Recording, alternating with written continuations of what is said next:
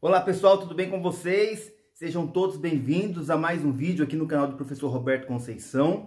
E olha só, o presidente da República se reuniu com ministros essa semana, inclusive com Paulo Guedes. E temos uma informação importante sobre o auxílio emergencial. Você sabe, são quatro parcelas e nós estamos aqui trazendo informações e cobrando o governo porque a população precisa dessa prorrogação do auxílio emergencial. Vou trazer uma informação para você importante nesse vídeo e mais. Eu tenho mais informações sobre um estado e um município sobre o auxílio emergencial local. Você sabe também quando você deixa aqui qual é o seu estado, qual é o seu município, eu vou investigar o que temos de informações sobre o seu estado e sobre o seu município. Por isso, já te peço com muito amor nas minhas palavras, coloque aqui embaixo qual é o seu município e qual é o seu estado. Eu vou continuar investigando. Você pode colocar para mim agora nos comentários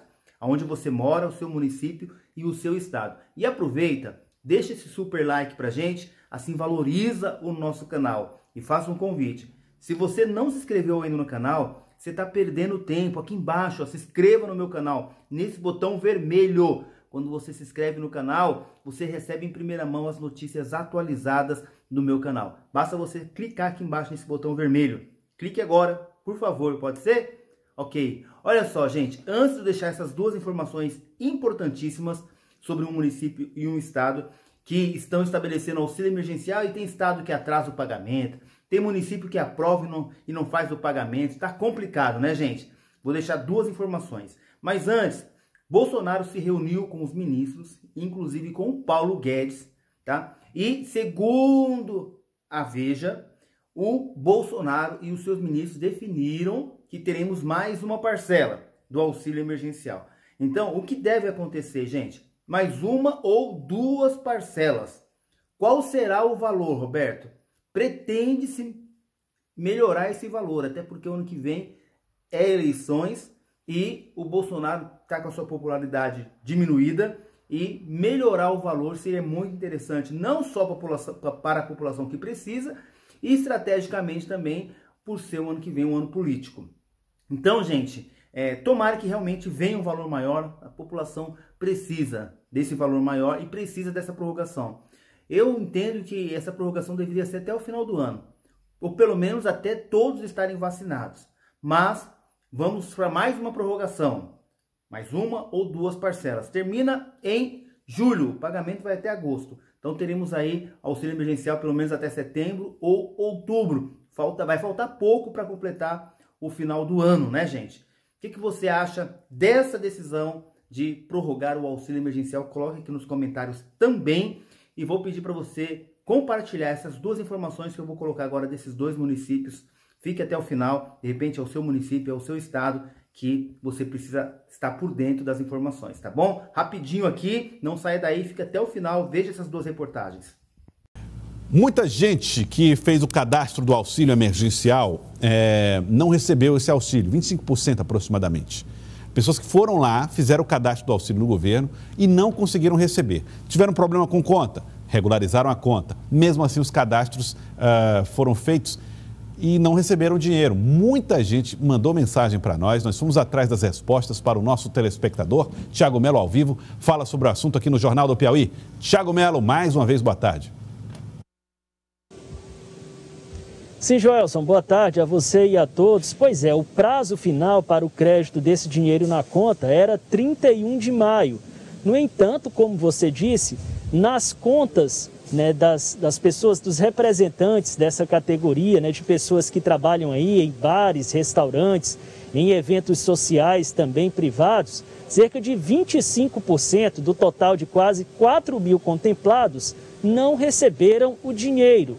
Ah, nós fomos buscar respostas em relação a isso, né, e segundo a coordenação do Piauí Auxílio, 90% dos contemplados já receberam o valor devido, que é no valor estabelecido foi de mil reais. Nas contas do Piauí Auxílio, só 10% dos contemplados não receberam. A gente falou com o gerente do programa que nos nos traz informações sobre a alternativa que vai ser dada para que esses que ainda não receberam recebam o pagamento.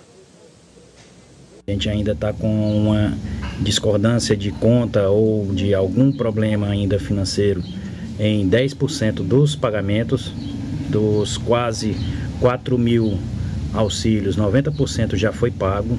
Né? Então a gente abriu uma força-tarefa agora, a partir de segunda-feira, nós estamos com uma força-tarefa junto com Cefaz, CIAF e Banco do Brasil para a gente conseguir é, regularizar todos até agora, até a próxima sexta-feira, todos os pagamentos pendentes. Bom, Piauí Auxílio garante que cada caso vai ser analisado individualmente, saber qual a pendência que está impedindo do dinheiro ser creditado e garante que nenhuma das pessoas que passou nos filtros, né, foram, foram vários critérios estabelecidos para que aquela pessoa que requereu fosse contemplada, nenhuma dessas pessoas que figuram na lista dos beneficiados vai ficar sem o dinheiro. Joelson. O cartão do auxílio emergencial do Recife, os cartões passaram a ser entregues exclusivamente na série do Cadastro Único, no bairro de Santo Antônio. São mais de 30 mil famílias né, do município em situação de pobreza que são beneficiadas e os valores desse cartão podem chegar até 150 reais para a compra de alimentação. Confira aqui. O cartão alimentação do Auxílio Municipal Emergencial, conhecido como o AME, vai ser entregue a partir de agora exclusivamente na Central de Cadastro Único do Recife, que fica na Rua do Imperador, no número 307, no bairro de Santo Antônio, na área central da cidade.